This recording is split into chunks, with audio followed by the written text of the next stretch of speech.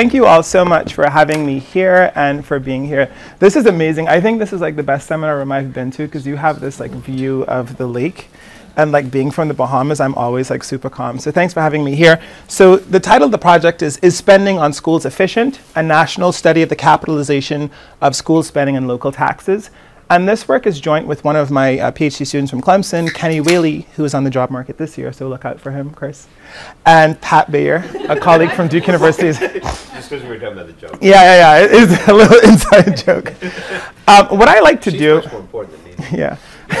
how many how many graduate students are in the room? If you can just raise your hands. Okay, awesome. What I like to do with my talks too is to kind of make it a bit educational for the graduate students as well too, in terms of like unpacking some of the research process. That way you walk away with that in addition to like the substantive part of the talk.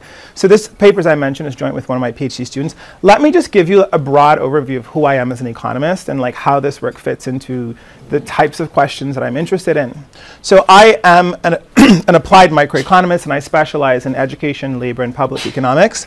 And I'm really interested in like how the educational system in concert with neighborhoods can work to promote equality within the labor market. So that's kind of like the big overarching question within my work. And today's talk is going to be on spending and is it occurring at the efficient level within schools. And we're going to be thinking about efficiency in kind of like a very narrow economic sense. Um, so we can chat about that some more. And just to give you a sampling of some of my other work, so I have some work on occupational licensing where we show that licensing reduces racial and gender wage gaps because the license functions as a signal of non-felony status. Um, the paper, the paper that Jeff was mentioning is with one of my um, colleagues at Wharton, Kent Smetters, where we look at why is it that elite universities have not been expanding the size of their college classes um, over time. I know, Chow, you've done like a lot of tremendous work, which we cite in, in that paper. Uh, my job market paper was on neighborhood tipping points. And Chris, you and I talked about um, a paper with one of my other students who you mentored at the inequality workshop on gender, uh, labor market flexibility and like when is that in a sense, when does that reduce gender wage gaps? And the headline from that paper is we find that the gender wage gap is much smaller among part-time workers than full-time workers, and it's been so for the past 30 years. But family flexible policies like the FMLA have actually been capitalized into the wages of women. Now, all of this work is not done by me. I'm not an island. This work is done collaboratively. Um, I have a group of five PhD students that work in my research group across um, Clemson and Harvard. Um, also two undergraduates, one pre-doc, one postdoc, and faculty collaborators at several universities. This is my favorite slide where I get to show you my students because you guys are an incredible part of the process and students are a huge amenity for faculty to be able to like work with and to train. This is Kenny, who is one of the co-authors on this paper. I'm going to start off with a quote from like a really old paper by Charles Tiebout from 1958. And let me read this quote. One of the most important recent developments in the area of applied micro applied economic theory has been the work of Musgrave and Samuelson. So this is like a paper from 1939, this is one from 1954, and this is Paul Samuelson in public finance theory. The two writers agree on what is probably the most which is probably the major point under investigation, namely that no market type solution exists to determine the level of expenditures on public goods. Seemingly, we are faced with the problem of having a rather large portion of our national income allocated in a non-optimal way when compared to the private sector. And so the big question is really the free rider problem. If you're trying to produce a public good, people who are going to ultimately use it might lie about the extent to which they really value it so that they can be under tax for this. And this will result in the under provision of this public good. So what was the revolution that Tiebout brought to the economics profession? His basic insight was well, perhaps at the federal level it's difficult to do that. But at the local level, if you have lots of different jurisdictions which are providing a bundle of public goods and also a level of taxation in order to finance that public goods, that competitions across these jurisdictions could actually lead to the efficient allocation of these goods at the local level. It could be that people are sorting to the places, in a sense like voting with their feet, that provide the right mix of taxation and also the public good too. And so that's kind of like the core idea. Something else that I want to highlight too is this paper by Oates in 1969 in the JPE, where he argues that, well, one way to test for this is to really see that if you raise taxation by 1%, in order to use that money from taxation to spend on the public good, would it raise house prices? And if the level of provision of the public good is efficient, then it shouldn't raise house prices. Because if it did raise house prices, then that means there's an arbitrage opportunity. You can tax people more, provide the public good, folks are going to value it, and they're going to want to move into the neighborhood. right? And we're going to be using this test in our context to, for, for, for Tiebout's hypothesis. And we're going to do this in the context of schools. We're going to think about local public schools as a type of, of public good. It's not a strict public good in the strictest sense of the word. And in the Tiebout paper, there's like a lot of discussion about how we should define public goods more broadly to, to accommodate this fact. But one of the reasons why this is a nice context to test this really important idea in economics, which is can we provide public goods at a local level, is because spending on education is like a huge part of GDP in the US context. And not just in America, but not just in the US, but elsewhere too. Attendance to public schools is generally requires like living in the district, and so it's a very like local phenomenon as well. Moreover, public schools are going to be funded in large part through these local property taxes as well too. So you have both the provision is happening at the local level of the public good, but also the taxation is happening at a local level too. So you get this bundle that each jurisdiction is going to be providing. and there's also evidence that increased expenditures on schools has a causal relationship with respect to increases in test scores and also uh, labor market outcomes of workers as well too. And so we might think that this actually is a public good that matters, which in turn should be capitalized into house prices, right? Both the value of expenditures on schooling, but also the disutility that households get from, from test are going to be capitalized into house prices, and that's going to allow us to do our efficiency test. Um, before you move on, so Please. a new measure of efficiency that's based on, like, you're looking at test scores, and uh, in, in terms of quality, that's based on test scores. So, yeah, so the way that we're going to think about efficiency is really there's evidence that shows us that increased expenditures on schools leads to better outcomes for kids. Intermediate outcomes like test scores, and you might have problems with test scores because test scores there's fade out. But moreover, there's also like later labor market outcomes as well too. So for example, reduced adult poverty, um, increased wages, lower unemployment. And the idea here is going to be that if households really recognize that their kids are going to be better off later on in life, they should be willing to move to places that has more expenditures on public schools, holding everything else constant too. And so the house prices in those areas should be greater, right? So you, you're willing to pay more for a district that spends more on education. So we're going to take the expenditure on education as kind of a catch-all. Does that make sense? okay. All right. So here are three main research questions. So the first research question is the following. How much do households value school expenditures? on average and also by geography. So we're going to split our sample by urban, rural, and suburban. So this is basically saying how much does, do house prices go up when you spend more in schools, but then also to like how sensitive are house prices to increases in taxation that you're going to need to fund these schools as well too, and how does that vary by geography? So that's going to be the second research question. And then the third is that given these two elasticities, the elasticity of house prices with respect to school spending and also taxation is the level of expenditures on schools efficient? So that's going to be, these are going to be the three main research questions. Let me talk first about how this problem is typically, typically tackled in the literature. And that's going to provide some context for what we do here that's going to be different. So there's some very pioneering work by Sandy Black and also by uh, my co-author Pat Bayer and, and some of his colleagues that uses these boundary discontinuity designs. And so the basic idea is the following. You're within a school district, and you have these different school attendance zones, and you compare people that live on opposite sides of the school attendance zone. So in one school attendance zone, the schools are really good and test scores on average are really high. In the other school attendance zone, right across the board, the test scores are comparatively lower. But the people along the boundary are going to be similar, they have similar neighborhoods, etc. And so any differences in the house prices are really going to be reflecting the differences that the different the diff are really going to be reflecting the extent to which households value the increase in test scores that's changing this continuously across this threshold. So that's typically what's been what's been done, right? The second, the second kind of approach is to use these infrastructure bond elections. So there's a 2007 paper um, by Cellini and co-authors, where they use the state of California, which has these, um, which has these election bonds. Basically, you vote on whether or not you want to have more infrastructure spending on schools. And in their context, they're going to focus in on the elections that were like very close. And they're going to say, well, the, the, in the place, in the counties, in the districts where the elections just narrowly carried, they're going to get kind of like an exogenous increase in expenditure on, on infrastructure And in the places where it didn't carry, they didn't. So that, that's going to be their treatment and control group too. and what they're going to find is that this increased infrastructure ex- expenditures are going to be capitalized into house prices. Let me talk about what some of the limitations are of the current approach and the ways in which we're going to try to build on that. So when we look at the boundary discontinuity design, the outcome is going to be test scores. And test scores may actually understate the true value of schools because there's a ton of fade out in test scores. And then there are also other things that schools do too. Like schools may also improve socio-emotional skills, right? And that's not going to be captured in test scores.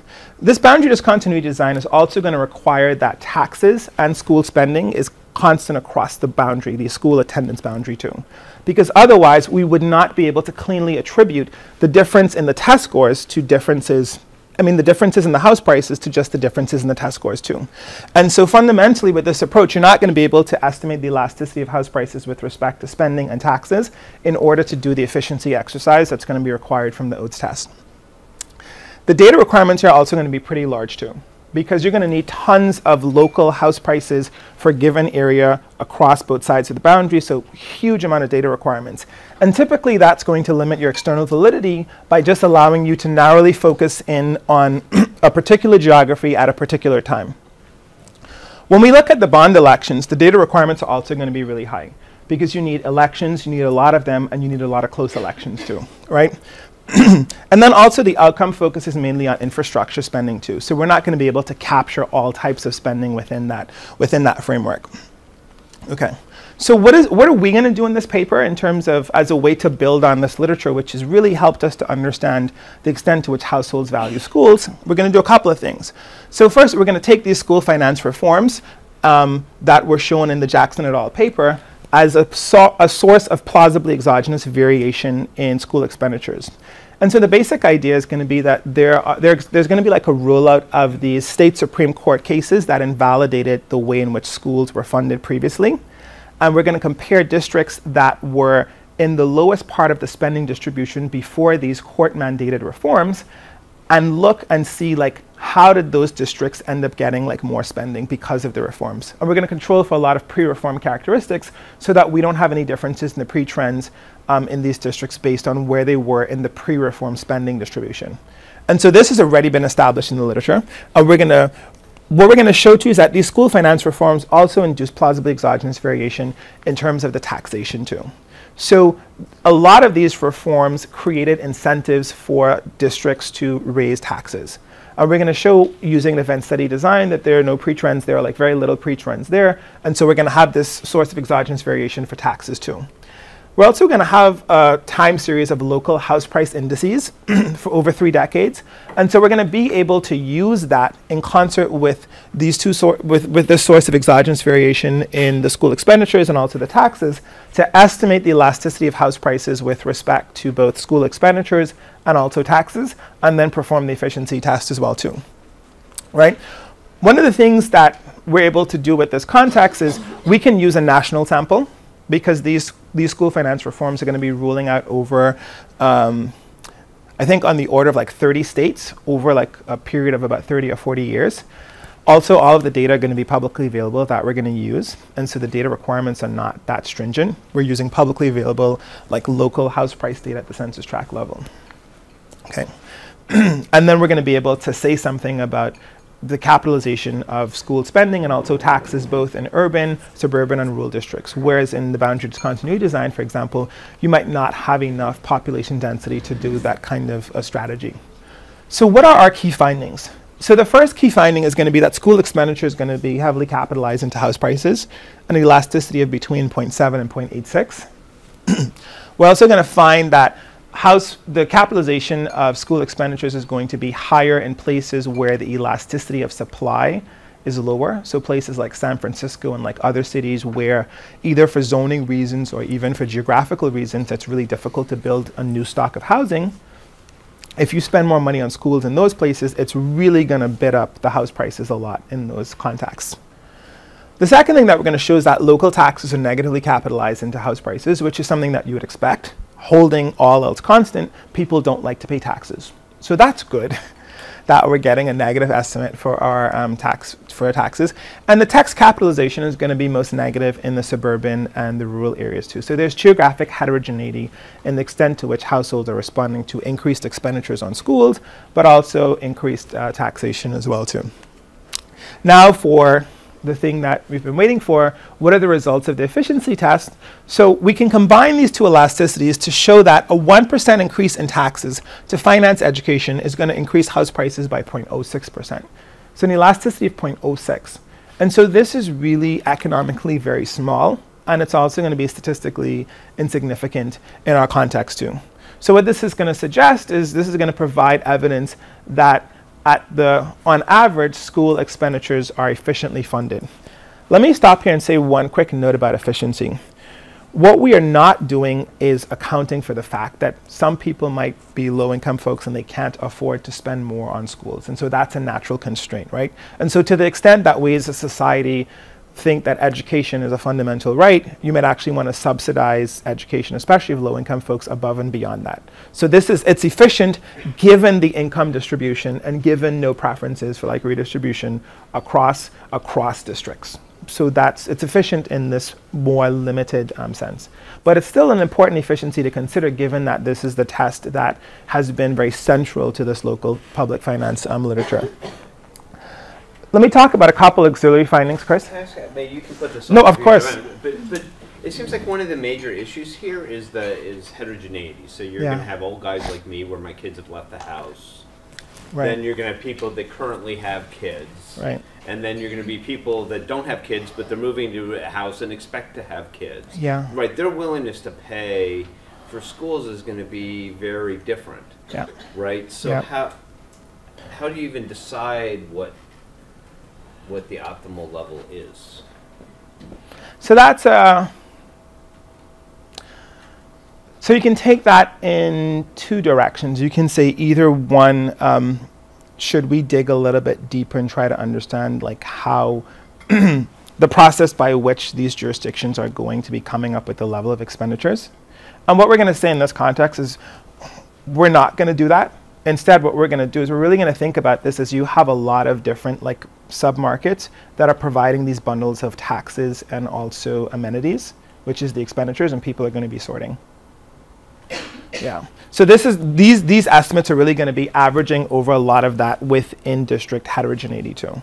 We don't have a way with public data to get at something that's narrower than this. Let me continue. Does that answer your question? Sort of. Sort of, okay. All right. Let me show you the results of this efficiency test by geography. This gets at a source of heterogeneity, not exactly the source of heterogeneity that you um, wanted, but this is certainly um, a contribution to the literature as well. What we can show is in rural areas, a 1% increase in taxes to finance education increases house prices by 0.0008%. This is like, this is this is zero. In suburban areas, we didn't cook the books on that at all. In suburban areas, it's 0.2%, which is really small too. In urban areas, it's 0.2, right? And so these are all statistically insignificant. We're trying to do something to get some more precision on these estimates, but also, and this is certainly for the graduate students in the room, it's not just about um, the statistical significance, it's also about the economic importance too. That's something that's going to be really important. This point estimate is an order of magnitude larger than all of these other point estimates too, and I'll get to you in a second, Jeff, right? And so if education is underfunded anywhere, it's potentially underfunded in urban school districts. Jeff? So another heterogeneity might be heterogeneity across districts and the ability to turn money into learning. Yeah. How should I think about that? And does someone have a pen? Oh, I have a pen. I can write this down. The heterogeneity in the in, of schools to turn money into learning. That actually dovetails with this really well. So we have an auxiliary result in the paper too, where we're able to separate the um, we're able to separate the expenditures into salary and non-salary um, um, funds. And the, the intuition behind this is that I think it's Josh Hyman has a paper. He has, he has a recent paper, I think in AJ Applied, where he shows that schools that spent more on salaries that actually increased um, test scores a lot more. And what we find is that salary expenditures are actually more heavily capitalized into house prices than non-salary expenditures too, consistent with that. So you can think that this is evidence that households are rational as well too. Yeah, do the level shifts maybe matter more than the elasticities? Because if, t- if my tax expenditures go up by a dollar, all else equal, I might pay one less dollar for a house. Yeah, Like those- those- we can we can do it. We can do it in terms of dollars too, and we should. Like that's something that we debated. Let me make a note of that. So this is for the efficiency test, right? yeah. Yeah, we can do it in dollars.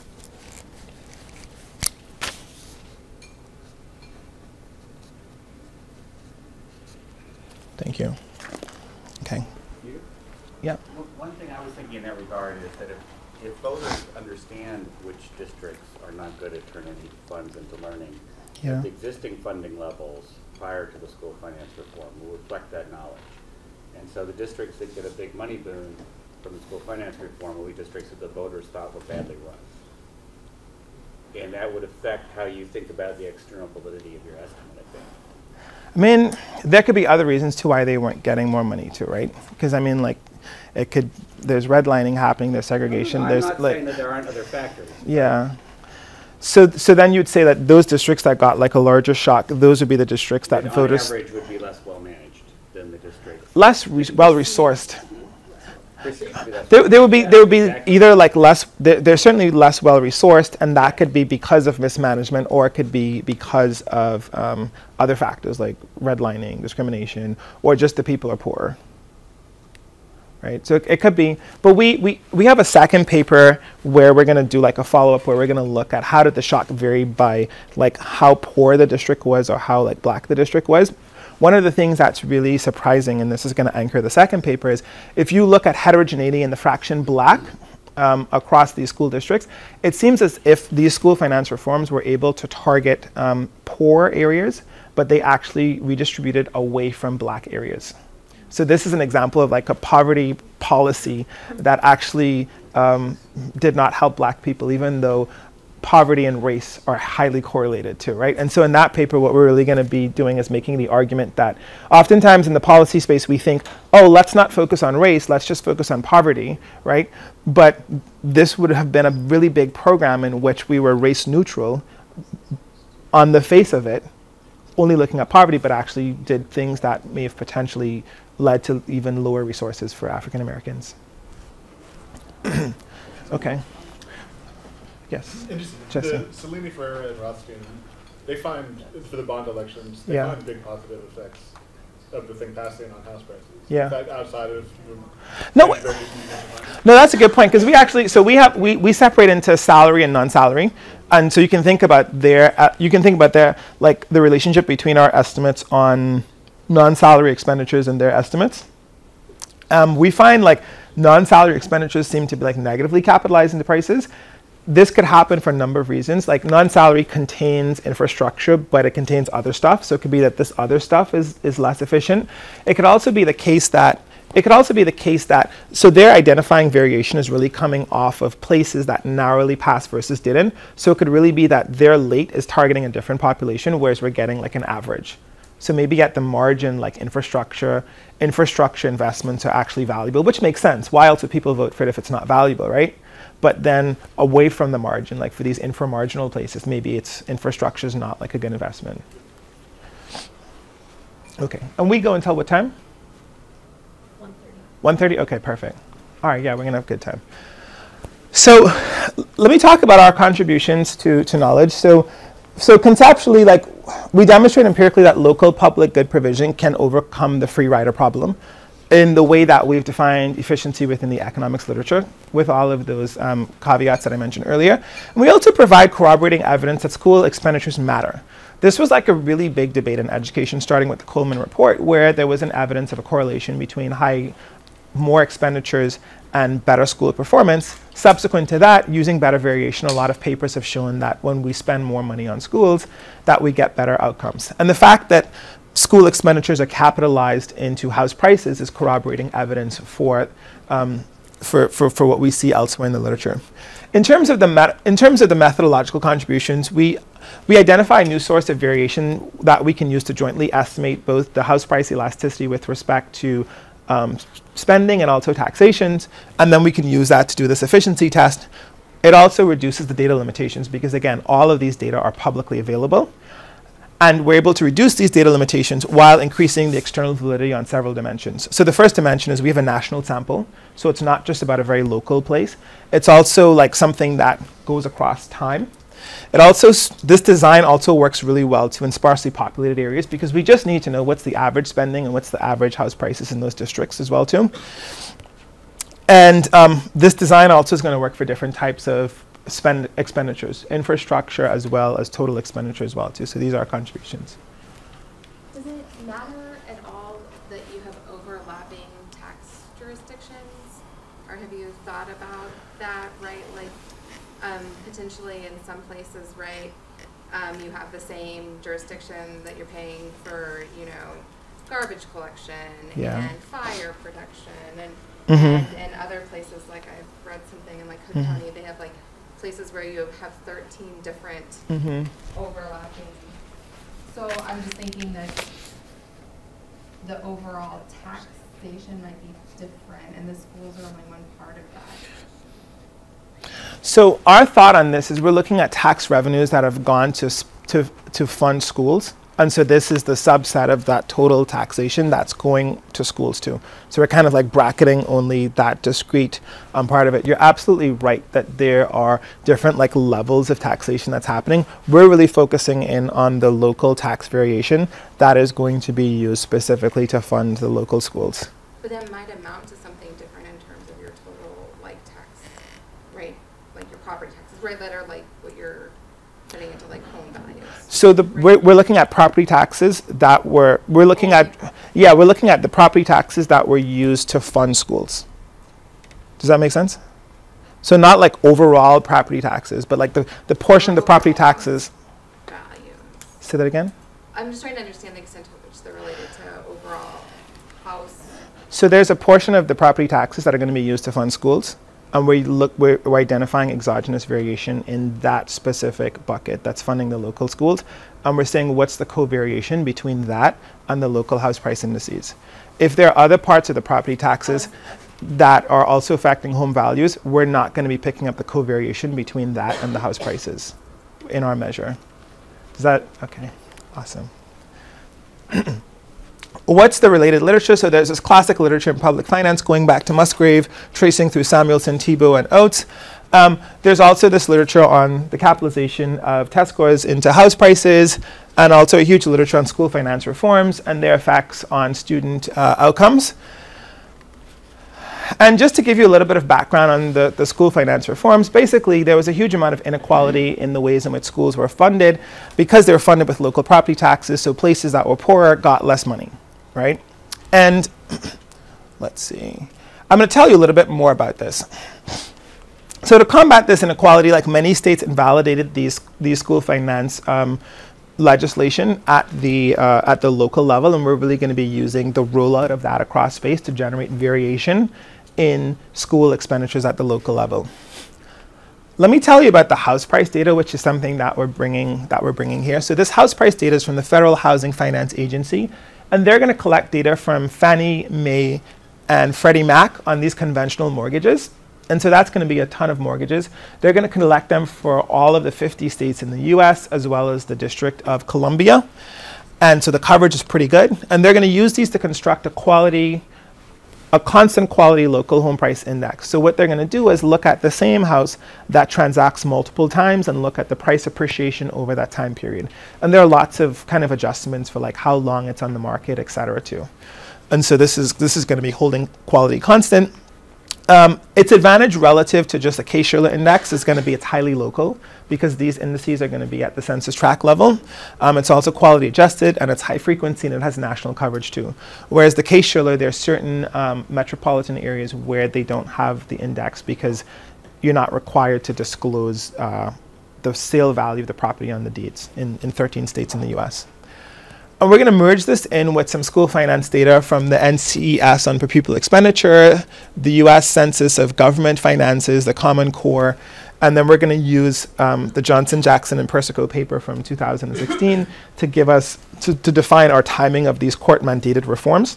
And we're going to use the first court mandated reform in each state, not the subsequent ones too, because those subsequent reforms might be endogenous, right? Whereas with the first ones, it's kind of like you don't really know when these, these you, know, you don't know when the court is going to decide. So for example, at Harvard, we've been waiting since I think like last summer on the affirmative action ruling. It could have happened like two months after, it could have happened the following year. And, and we're going to be leveraging that as a source of random variation. We're also going to use the, the 1960 US Census to construct some county level controls for like changes in the racial composition and the income composition of neighborhoods too, to, to, to, to look at what's the effect net of some of these changes that we think might have happened anyway. And we're going to use these estimates of the elasticity of housing supply from the Saiz 2010 paper, which combines a notion of geographic scarcity of housing with regulation, like regulatory scarcity in a sense. So these two forms of variation. This just gives you a sense of our summary statistics, and then you can see overall total expenditures in the data. It's around about eleven thousand, like twelve thousand dollars per pupil, and of that, about forty-ish percent are going to come from the local property tax revenue, and then the rest is going to come from the state and from other sources of revenue. Uh, about 30% of our areas are going to be urban areas. Sorry, hold on. Yes. and then about 60% are going to be suburban, and like very few are going to be rural areas. Okay. Let me show you this quote about the, the, the reforms, just so that you get a sense of like why various state supreme courts thought that the, the school finance regulations were unconstitutional. So this is Serrano versus Priest, which was the first such decision, and I'm just going to read this. We are called upon to determine whether the California public school financing system, with its substantial dependence on local property taxes and resultant wide disparities in school revenue, violates the Equal Protection Clause of the 14th Amendment. We have determined that this funding scheme invidiously discriminates against the poor because it makes the quality of a child's education a function of the wealth of his parents and neighbors recognizing as we must that the right to an education in our public schools is a fundamental interest which cannot be conditioned on wealth, we can discern no compelling state purpose necessitating the present method of financing. We've concluded, therefore, that such a statement cannot withstand constitutional challenge and must fall before the Equal Protection Clause. And so this was the first in a sequence of a lot of other types of reforms. Many activists started to target um, various states to try to invalidate um, these school finance laws. In some places they, lo- they lost, in some places they won. Um, and this is going to be the, the timing that we're going to be leveraging in our context. Let me show you an example of this. So the state of Washington in 1977 had school finance reforms. This is Washington broken out into um, the various like school districts. And places in green are going to be places where the spending in that district is close to the average spending across the whole state. Places in red are going to be where it's like very different, and places in yellow are going to be in between. So before the reform, you see lots of red places, right, where either you had like a lot more expenditure than the mean or a lot less. After the reform in 1980, you see a lot of these red areas are filled in with like greens and yellows, and you see in 1990 like that pattern continues too. So that's just basically saying that there is some bite in terms of these school finance reforms this is comparing two different states. This is the state of Missouri in 1990 versus 2000. This is the state of Illinois in 1990 versus 2000. Um, Missouri had a reform in 1993, and you can see going from 1990 to 2000, you see a lot of these red areas now become green and yellow, whereas in Illinois, the graphs look more similar across time too. So this is basically saying that these reforms have some bite. So what are we going to do empirically in our context? We're going to follow Jackson, Johnson, and Persico, and we're going to set the event time to be um, the year of the first school finance reform. And we're going to use what was your spent what, for a given school district, where in the school expenditure distribution in your state were you in 1972, which is before all of the reforms except for California. and then we're going to interact your district quartile in 1972 with these dummies for like how far you are from the school finance reform time to construct these kind of event time dummies, which we're going to use as instruments. And so in our first stage, we're going to regress per pupil expenditure in District D at time t on the interaction between these pre-reform spending quartiles and these um, these event time dummies. And then we're going to control for district fixed effects. We're going to control for um, time trends in terms of what was happening in the 1960s before these things were, were going to happen as well too. And so this is going to be our main specification for the first stage. And we're going to do the same thing too for per pupil expenditure on taxes, per pupil revenues on taxes. So the exact same structure we're going to use there. And then in our second stage, what we're going to do is we're going to take the predicted values for per pupil expenditure that was generated from the school finance reform, which we're going to argue is plausibly exogenous, and I'll show you the event time uh, graphs to, to validate that assumption. And we're going to use that to instrument for per pupil expenditure, and then we're going to regress that on house prices. So that we can, this theta here then is going to be the elasticity of house prices with respect to exogenous changes in school expenditures right? Okay, great. And then this, this is going to be our first set of results. And then the second set of results, we're also going to um, include our predicted value for changes in local taxes too, so that we can do this efficiency test as well, right? And one of the things that you're going to see is including local taxes actually doesn't reduce um, our the predictive power of our school spending too, which which seems to suggest that these event time dummies that we have are giving us potentially like orthogonal variation in the school spending and also the taxes too, which is what's going to allow us to do our efficiency tests. I'm going to show you several figures like this, so I'll just take some time to like explain what these figures are. So on the horizontal axis, we have the event time. So at time zero is going to be um, the time of the, the first court mandated school finance reform. On the vertical axis, we have the log of per pupil spending. And then each of these time series are going to represent the difference between spending in a given uh, pre-reform expenditure quartile relative to um, spending in the districts that spent in the highest quartile before the reform. So, for example, the blue series is going to tell us what's educational expenditure in the lowest quartile versus the top quartile. The green is going to be between um, the red is going to be between the second smallest quartile and then the, the top quartile, and then this is going to be the third highest quartile. So that makes sense, right? Now you can see before the before the school finance reforms, basically there's there's very little pre-trend here. And then after these school finance reforms, over time, what you see is that the districts that were in the bottom of the spending distribution before the reform, they're going to be spending a lot more money right? And this was exactly the point of the reforms, which were to redistribute money towards um, lower spending districts, but then also to provide um, incentives for them to raise more taxes to spend on their schools too. And we're going to see that the increases are going to be, um, they're going to have increases for these middle quartiles as well too, which are going to be smaller than the top. And then you're going to have slight increases for um, the third highest quartile as well too. So there's some ordering here too. Now let's why the pattern? I mean, if so, why doesn't it jump up right away? Why does it Yeah. fall and then eventually? So what happens is we're using the time that the courts mandated this. Okay. Oftentimes, states now have to go and do legislation, and then they have to make the legislative sausage. And so you can think this is the sausage making um, process here. Jeff and then Jesse. In some states, I think like New Jersey, the state fights the, the Yeah. initial court decision too, right? And Yeah. Oftentimes for years or even decades. Yep. No, that, that's, that's exactly right. It looks like total spending is going up. Yes. So, um, if Yeah. I remember right, some of this is coming from general revenue at the state level.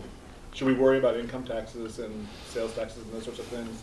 If some of the location choices across states, and not just across jurisdictions within states? Yeah. So then, so income, so state income taxes, are you talking about state income taxes? I don't think you'd worry about state income taxes, right? Because it's like, in a sense, w- the unit of observation is going to be like, we're looking at differences within the state. And so everyone's going to be getting shocked by the same state income taxes. Um, in terms of like, If, uh, they, if they really are only considering jurisdictions within the same state. yeah, and I mean, like, If there's a few states you could. That's fair. And so, so for some of those border counties, that, that can certainly be a consideration. That, that might be like second order. Um, in terms of some of the other like local taxes, are you thinking that they might be collinear with um, the property taxes?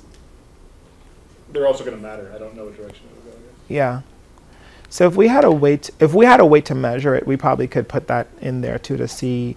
Um, the thing, the reason why we're choosing like local property taxes is because this is the, this is the component of that that's being specifically used to fund um, to fund the schools. But you're right. If there are like other types of taxes that are also going to be used to fund schools, then ideally what you'd want to do is to think about like all of the taxes that are going to be used to fund schools, putting them in there. I'm trying to. So if we look at if we look at our summary statistics, so like total spending is going to be like close to twelve thousand dollars. Like forty percent of that's going to come from the state, from property tax revenue, and then from the state, like close to fifty something percent of that. So like we're left with maybe like ten percent that's coming from like other places. So we can use that to kind of like bound the estimates. Um, does property tax revenue include like district-based referenda and things like that that get passed, or is that separate? So sometimes, so for example, Yeah. in my understanding of Wisconsin, there's like obviously a cap for localities, and then, uh, Yeah. they can choose to pass a referendum in order to increase spending for schools for that, that year, upcoming years, for like facilities and things like that. I'm just wondering if that plays into it. I will double check, but I think I think the answer is yes because oftentimes it's like a referendum to increase property taxes for specific reasons. In the in the context of California, the referenda were only limited to like infrastructure, but not to general spending. Yeah. There's another question. Okay. All right. So everyone clear on the figure? And then, okay. Now I'm going to show you similar figures to these first, and then I'm going to show you like the regressions as well too, right? We want to be really transparent with kind of like what the data is and the variation that we're using. So this is the similar figure for like house prices. Again, like the bottom spending pre-reform quartiles are going to be in the blue. And what you can see is before the reforms, we do have a pre-trend, a negative pre-trend um, for the, the two middle quartiles. Um, we don't yet know why this is the case, and we're trying to think about ways to like deal with this. For the third quartile, we don't see a pre-trend, but if anything, like correcting for this would bias us against finding something like this. So our results would be understated relative to not having that pre-trend. But what we can see is that house prices are going up, right? And so these laws that passed, house prices are going up. Okay.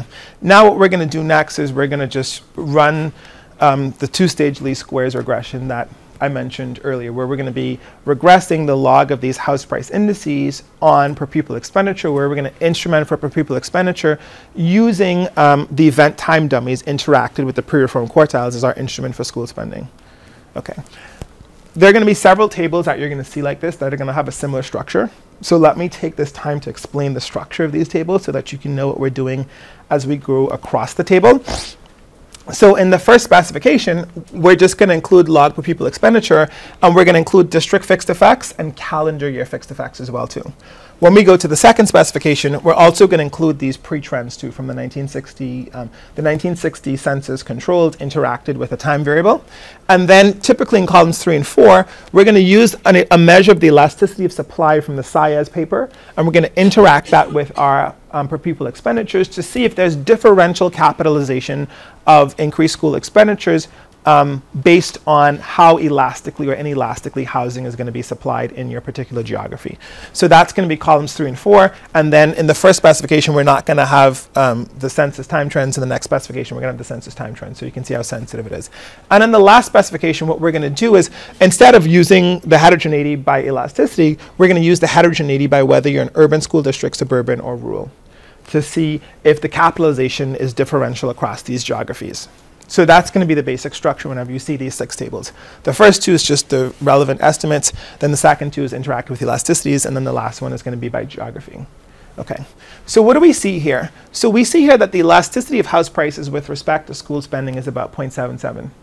Now, when we put in place the census controls, that actually goes up slightly to 0.86 right? And so controlling for the, the, the pre-trends actually strengthens the result, if anything else. When we look at this by the elasticity of housing supply, what this negative sign is telling us is in places where housing is more elastically supplied, you're actually going to see less capitalization. So for example, let's take a place like um, Dallas, where I think the elasticity of housing supply is like 2.5.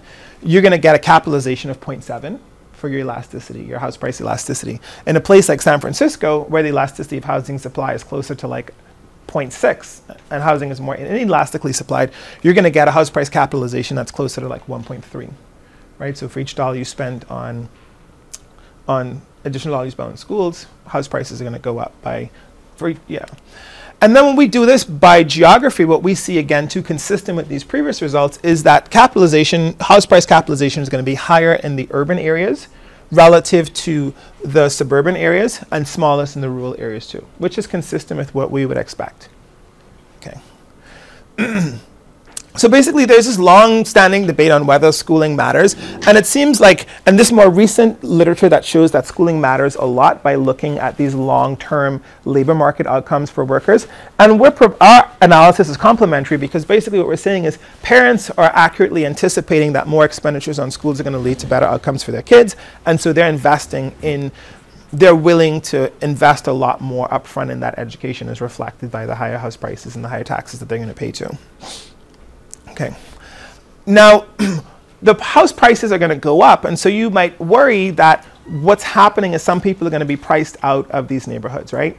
Um, and that's exactly what we find too. So what we find is that in the districts where house prices go up the most, which are going to be these low spending districts, you actually see like the fraction of kids that are on free and reduced lunch in these schools actually goes down. And so this is like corroborating evidence that the house prices indeed are going up, which is that poor households are going to be getting priced out of, of, of these markets too, right? And this is the similar table too. You just can see that like as you spend more on these schools, you're getting like less poor people in this area too, right? And so something that you might worry about is, well, does this undermine the previous results? Because this suggests that there is going to be some mm-hmm. Can I ask you a question? Sure. These, these poor kids, they have to go somewhere. yeah. Where do they go? Yeah, we're working on that right now because you can think about there could be like a couple of things happening. It could be that um, housing supply is increasing across a lot of different places, and they're differentially sorting to places where that supply is less um, is more elastic. So that could be the case, right? Um, it could also be the case that keeping housing supply fixed, they're just moving across districts too. What we think is happening is that it's just flattening the gradient between school expenditures and house prices. But we're right now we're, we're looking at the migration data to really have a better answer for, for that.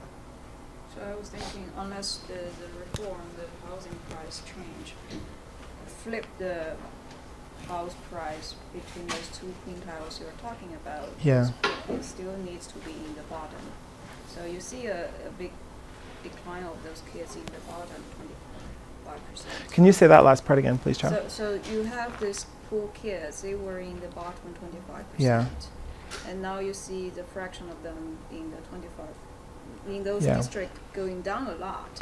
Yeah. So that has to mean that the housing prices in the better districts are falling. are lower now, Yeah. like lower than the worst district now. So you flip the price hmm on the housing market, is that true?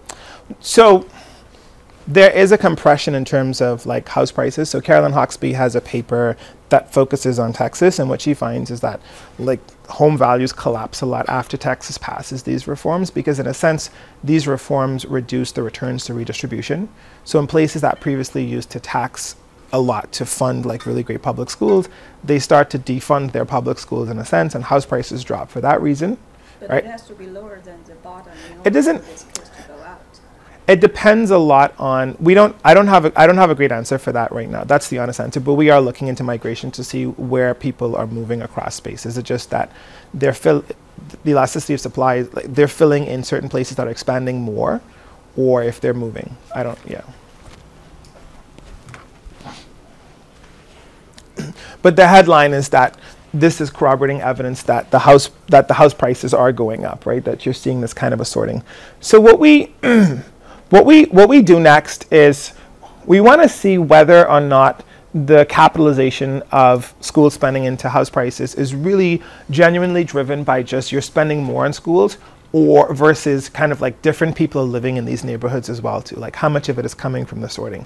Now when we take a, a big step backwards um, both of those are going to be interesting estimates, right? Because you might say the reduced form effect of the school finance reform is to spend more in schools, and you want to capture both the direct effect of more spending on schools, keeping the composition constant, but you might also want to capture the indirect effect of like the induced sorting and how that affects house prices as well too because of this, right? And so that would be the first sets of estimates where you don't account for the sorting. In the second set of estimates, we're going to account for the sorting by just including some school demographics as control. So we're going to control for like the fraction black and white and Hispanic in a neighborhood, how many people are poor slash on free and reduced price lunch to see how much our estimates change.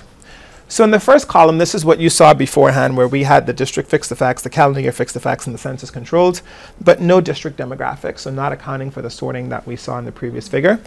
Um, when we include uh, district demographics, the elasticity does fall by about 17% from 0.8 to 0.7. So sorting does matter, and sorting explains about 20% of the capitalization effect that we see.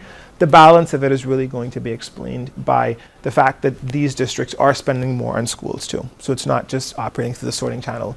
And when we look at the results um, that explore heterogeneity by the elasticity of supply, we see um, similar estimates here. And We also see similar estimates when we do by geography. The one thing that's going to be different is that the extent to which capitalization is occurring in urban and suburban areas is going to be a lot more similar in this context than in the context where we didn't control for the sorting. So that's going to be the one thing that's going to be different when we control for the sorting. So sorting does matter. Okay. Now, as advertised, I mentioned that we're going to separately identify the role of spending versus um, lower taxes. And for a lot of reasons, like school spending and taxation are going to be like highly correlated and endogenous in a lot of contexts. And one of the things that we think is going to be nice about our about our context is that we're going to be able to, to to get at some plausibly exogenous variation in in taxation at the same time that we can get variation in the school spending too. So let me just get to showing you the event study um, graphs. We're working on extending this time series back a little bit further. So this is looking at the on the vertical axis, we have the log of local um, tax revenue from property taxes that goes towards spending in education. And what we can see is that after the reforms are passed, that across the board in these lower spending quartiles, you see an increase in property tax um, revenue. And some of that is going to be coming from the incentives that these jurisdictions have to increase um, their tax base in order to meet like state matching grants and other things like that as well too. And so we're going to use this variation here to see how, how do these plausibly exogenous changes in local tax revenues, how, to what extent do they capitalize into house prices? this is looking at um, non-local sources of revenues too. And we can see that lo- non-local sources of revenues, like coming from the state and the federal government, are going to increase a lot, particularly in these um, low spending districts. And so schools are responding, in a sense, like schools' funding sources are going to be responding to uh, these reforms. The tabular structure is going to be the same as it was previously. The only difference here is going to be that we're also going to have as an explanatory variable um, the log of, of local property taxes per pupil so that we can look at what's the estimate, the elasticity of house prices with respect to taxes. So what we can see here is that when we account for taxes, the, the capitalization into house prices is going to fall by a bit to about 0.7. And but we're still getting like a lot of capitalization of school expenditures into house prices. Um, with taxes, this elasticity is like minus, um, minus 0.15 here. And then again, too, we're going to see that school spending is going to be more capitalized in places where supply, where, where the elasticity supply is is going to be um, lower. Um, with the taxes, um, it's going to be a little less imprecisely estimated when we start to split by the elasticity. so the, the point estimates are going to be kind of similar, but when we add in this interaction with elasticity, it doesn't, it doesn't change by, by that much. Um, when we split it out by geography, what we see is we get the same kind of a sorting, right? Where school expenditures are going to be highly capitalized into urban areas, um, also into suburban areas, less so into rural areas. But when we look at the sensitivity towards taxes, we're going to see that in these suburban areas, there's going to be a lot of sensitivity towards taxes. Also in the rural areas, too, people are going to be pretty sensitive to taxes. We're less our estimates are less precise for the rural areas because they just make up 6% of the sample. And then the urban areas, like the sensitivity to taxes is going to be like the lowest, right? So these are going to be the results. What we're going to do next is we're going to take these elasticities and then perform that efficiency um, test that we were mentioning, that, that we mentioned at the top of the talk. And so the exercise is going to be, we want to calculate the resulting increase in house prices from that derived from increasing school expenditures because we've increased taxes. So you, you increase taxes, you use that money to fund schools, how does that affect house prices? So effectively, what you're doing is you're saying, we increase taxes, I'm going to get a negative hit on house prices from that, but we take all of that money and dump it into school expenditures, we get a positive hit from that, and then we net out that difference to see if, in fact, we can raise uh, house prices by providing more of the local public good, which is going to be schools. That's going to be the exercise, right? Okay. So in the first column, this is where we do it for like all areas, and again, too, like with the census controls versus without the census controls. And what we find is a 1% increase in taxes to fund education increases house prices by about 0.06%, which is, which is economically small and statistically insignificant too. The standard errors aren't tiny, so I just want to be really upfront about that. When we split this by geography, and this was the result that I showed you previously, when we look at urban areas, the elasticity is about 0.2. In suburban areas, in sorry, in suburban areas, it's about 0.02, which is an order of magnitude smaller, and in rural areas, it's like way, way smaller, and like super close to zero too. And so, what's the what's the headline from this? The headline from this is that, on average, it seems that it seems that spending on on schools is approximately efficient in the sense that we've defined efficiency, right? There's no arbitrage in this in this particular market. But in urban areas, like it's an order of magnitude like larger. Like there are potentially some gains to like increasing taxes in urban areas to fund public schools, right? And this is consistent with the whole idea that you know a lot of our urban schools are in pretty like are in pretty bad shape and have been systematically defunded over time. Um, what we can do next, Can I go back yeah, sure, Are you just one, one? Yeah, sure. Are you just point seven plus minus point one five, that's what you did? No, no, no. That's not what we did. So what we did is we, what we say is if you increase taxes by 1%, given the level of taxes, that's going to generate a certain dollar amount increase in spending. We take that dollar amount in spending, and then we do that as a proportion of the current level of spending to get a percentage increase in spending. And then we multiply that percent increase in spending by the elasticity of spending. And that number we add to 1% and then that'll give us the net increase in house price, the net percent increase in house prices. Yeah. Yeah, because if yeah, you're absolutely right. Because if we just added those elasticities, there's no way we, we would get um, we would get zero. The last thing that we do is we we separate out.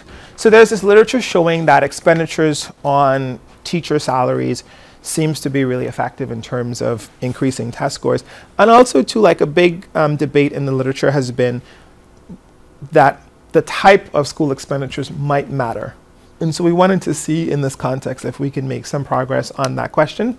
And so what we do is when we split out our expenditures into salary and non-salary expenditures, what we find is that salary expenditures increase in these districts that before the reform were not spending as much as the upper quartile districts. And so we, we can see that happening. We don't have too much of a pre-trend here. When we look at non-salary expenditures, they also increase in the lowest expenditure quartiles as well too. Less so for the, um, the middle quartiles of, of spending. And what we can do next is we can say, well, let's estimate a regression where we have the log of house prices against the predicted value of expenditures on salary versus non-salary inputs as a way of seeing to what extent do households differentially capitalize expenditures on these two different types of inputs as well too, right? And so like how discerning are households about the type of expenditure? And what we can see is that across the board, like increases in salaries are positively capitalized into, into house prices by like a lot, right? Whereas when we look at this non-salary expenditure, it's actually negatively capitalized into house prices. And one of the things that we're going to do is we're going to add taxes onto this because we think what could be happening is if your non-salary expenditure includes things like spending on infrastructure and those things happen when you have a bond referenda that gets passed in a sense like the non-salary expenditure could be positively correlated with taxes and then taxes are going to be negatively correlated with your house values and so some of this negative could actually be coming through the fact that you know like these types of expenditures are actually um, collinear with um, with taxes. So we're going to redo this piece here and add that in. But when we when we split by geography, what we see is that across the board, the salary expenditures are almost very similarly capitalized into house prices, which is pretty shocking because we see on average the capitalization into house prices of school expenditures was, was much higher in urban areas relative to rural areas. But when we look at a specific category of expenditures, which is going to be on these salary inputs, like households across the board are going to like value um, inputs into salaries too, right? And this is consistent with the idea that households are potentially acting rationally. If it's these salary inputs that are going to be differentially effective in terms of improving student academic performance, but also in improving students' um, life, lifelong outcomes. And this is my last slide, and then we probably will have like another 10 or so minutes to have conversation because it goes until, yeah? Okay, great. I think this is going to be like my first time finishing like 10 minutes ahead for it to talk, so I feel good about that. So, what's the conclusion? So, our work speaks to these two long-standing debates within the economics literature. One is this like really old question going back to like Samuelson and Musgrave about can we efficiently provide um, public goods? And in particular, can we provide them at the local level? And using um, plausibly exogenous variation in both expenditures on the local public good and then also in the taxes, we're able to like estimate the elasticity of house prices with respect to these two inputs and then test for whether or not efficiency can, can actually happen. And then the second thing that we speak to is does expenditures on schooling matter, right? I know a number of, of the faculty in this room and also the students think very deeply about education. And there has been a long-standing debate in the literature about whether spending on school matters. And the tide is only recently beginning to turn towards where people are saying, well, if we spend more in schools, the schools get better. Before that, you know, there was a potential for folks to believe that expenditures on schools are a black hole. So what we show is that house prices go up when school expenditure increases exogenously.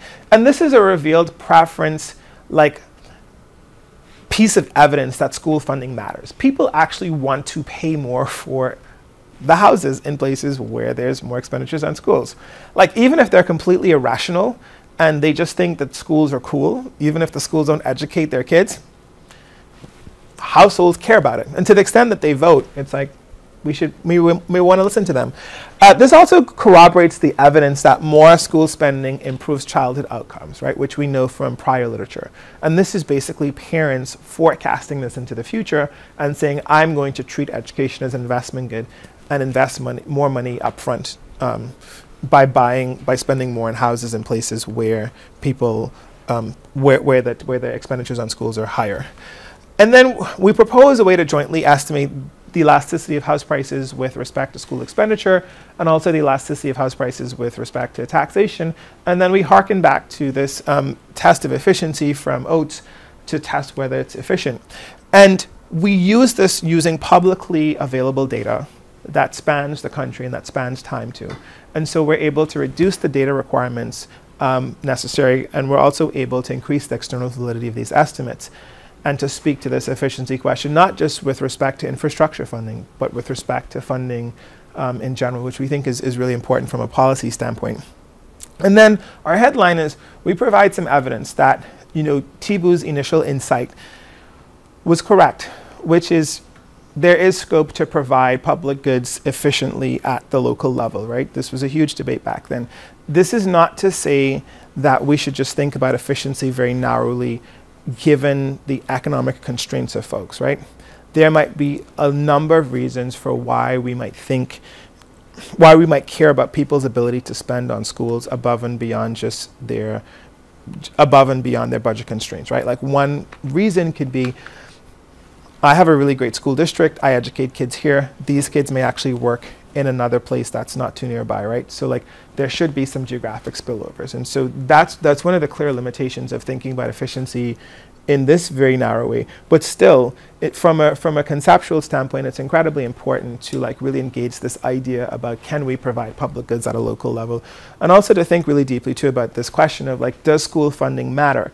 And for us as as social scientists and specifically as economists, like finding out from a revealed preference study that people value these expenditures is incredibly important because it's not just about society foisting a particular set of social preferences onto households, but this is really uncovering the fact that they do value this, and when we don't do this, we're potentially doing something that's suboptimal from a from a policy standpoint.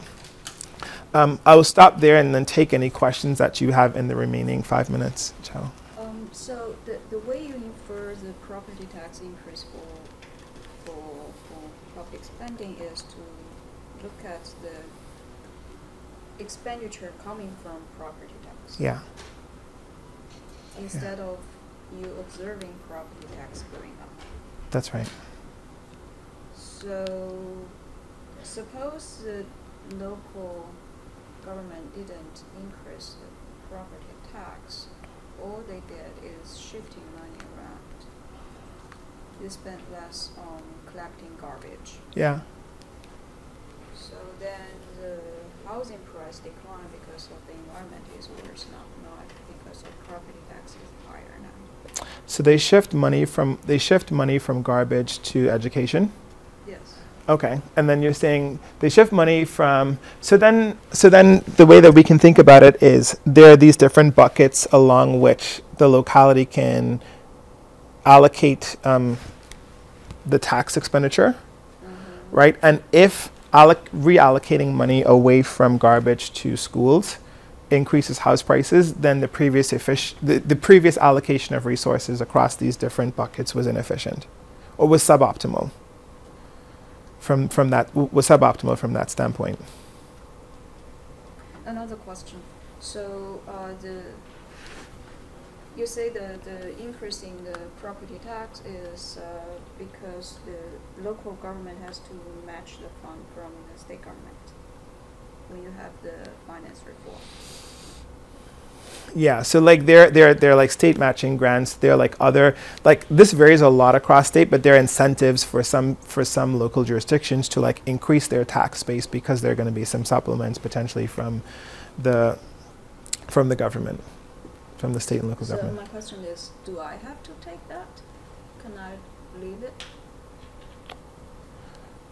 Is it mandate or not? That's my question. I don't know the I don't know the answer to that, but I'll I'll look it up. Is your what's your thinking about whether like how the whether it's mandatory or not? So I'm thinking about whether or not this is uh, really like a Dodgers shot. So the, the district that increase the I see. is the district take the bait. Instead of like Mhm. this, you have to do it.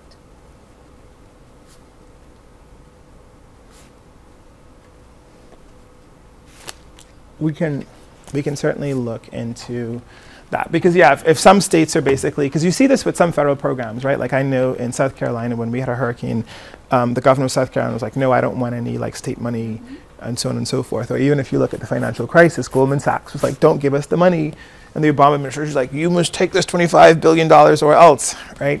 So we can we can totally look into that.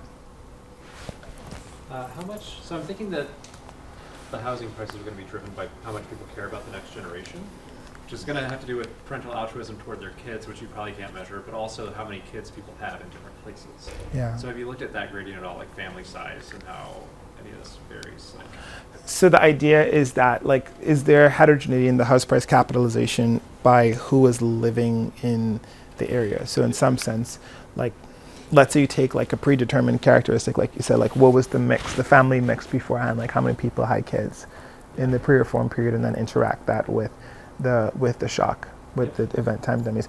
We have so the second paper. So this paper is like one in a series of three papers that we're doing.